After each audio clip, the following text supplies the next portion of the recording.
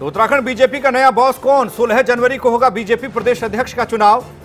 BJP आलाकमान ने बैठकों में कई नामों पर चर्चा की है। मौजूदा वक्त में अजय भट्ट के हाथ में कमान है। अध्यक्ष पद उनके पास है। नए अध्यक्ष पद की दौड़ में बंसीधर भगत सबसे आगे हैं।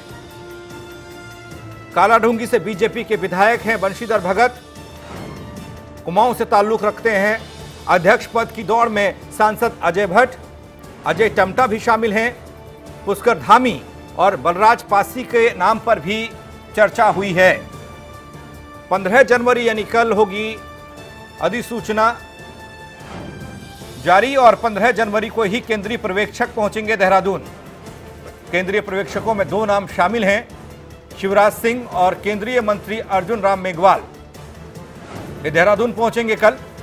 केंद्रीय पर्यवेक्षकों की मौजूदगी में होगा नए अध्यक्ष का चुनाव। राज्य में अपने प्रदेश अध्यक्ष की घोषणा होनी है। इसके लिए जो भी तमाम औपचारिकता राज्य के द्वारा थी, वो पूर्ण कर ली गई हैं।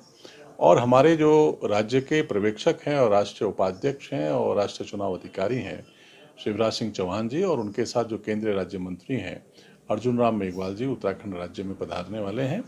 और अपने राज्य में प्रदेश अध्यक्ष की अधिसूचना पंद्रह तारीख को प्रारंभ हो गई। उसके बाद सोलह तारीख को हमारे जो प्रांत परिषद के सदस्य निर्वाचित हुए हैं जिलों से।